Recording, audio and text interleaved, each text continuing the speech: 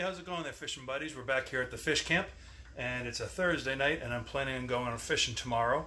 Uh, been a while since been fishing. I've been out in the boat a lot. It's been gorgeous weather. Been here with the family during Fourth of July, and uh, we just did a lot of hitting the islands and going to restaurants, um, hitting some of the beaches like Cayo Costa and Upper Captiva, and the water's been awesome. It's been calm. It's been great.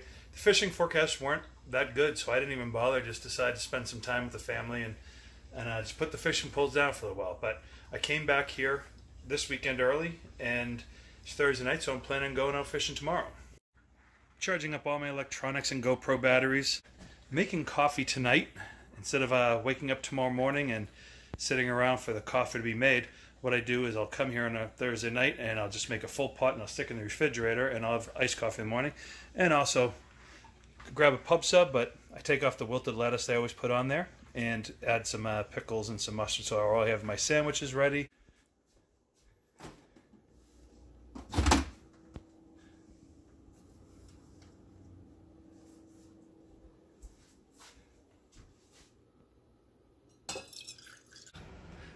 Last night, by the time I got in, all the bait shops were closed. So uh, I need to run here just to get some shrimp. And uh, they don't open until 7. Well, I got a later start than I wanted to, but it's not horrible because when I got to the bait shop, I was just going to get some frozen shrimp, but they had some live pinfish, so I was able to get about eight of those, and uh, that saved me from having to stop somewhere and try to sabiki some um, of the pinfish. So it might have actually just evened out. It would have been great if I uh, had stuff last night and could have left the dock around 6 o'clock in the morning to get to where I'm fishing, but um, I've been out a lot later than this.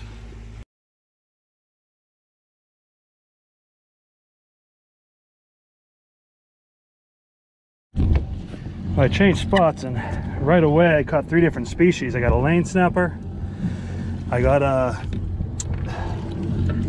what did I get? Got a puffer fish, and I got a red, I don't think he's quite big enough. We're gonna gonna have to measure this and also look it up, but he's close. That's a nice size red.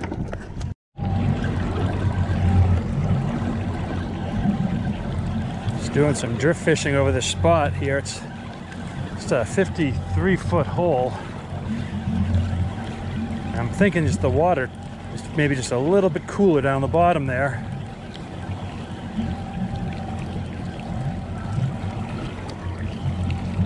And it's another red grouper. This one's even smaller than the last one.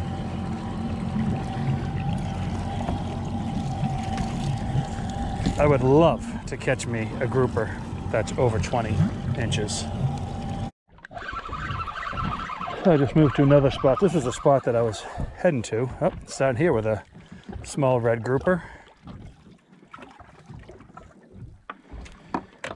Again, not a keeper, a grouper seemed to be the fish of the day.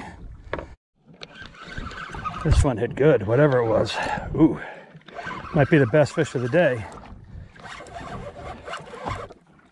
Oh, he's a good one. He's a rod bender right here. Ooh, it is a hogfish. This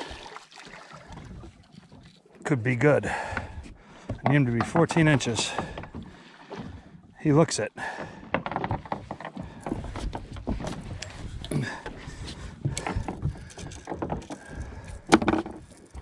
He certainly looks it.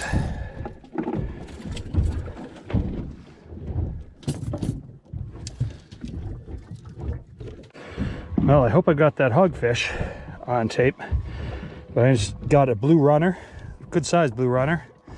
I'm not going to keep him um, he would be good for cut bait, but I have plenty of bait today. And uh, they're edible. I've eaten one before. But uh, this is my sixth species of the day. Yeah, very distinct hit. Well, not that distinct. They hit like a catfish. Actually, this is not. This just screwed me up because it was up. Oh, it actually was a white grunt and a red grouper. The white grunt came off the last second.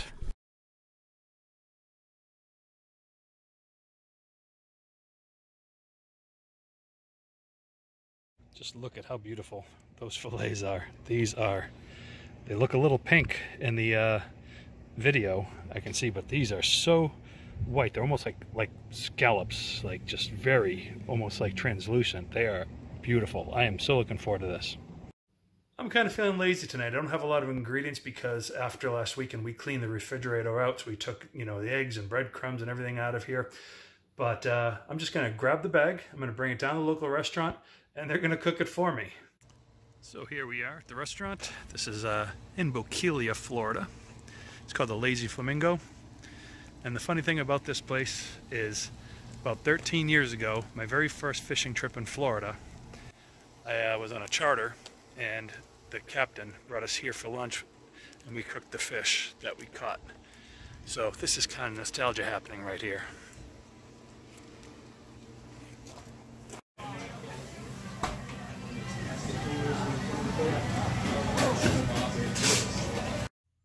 As far as the lane snapper goes, just blackened it in a frying pan, put it on a sub roll with some pickles and some mayo. And uh, I know this is going to be good. Nice lunch next day. If you guys enjoyed the video, give it a thumbs up. Thanks for watching.